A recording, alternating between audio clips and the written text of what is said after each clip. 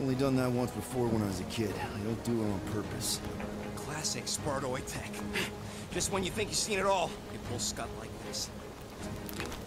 Just come on, dude. Just Leave the let guns alone! me- Hey, I, well, I just want to see how they tick. Otherwise, it might as well be magic. Or sorcery. Guys, some kind of morphing nano. Or sorcery. here we go again. Oh.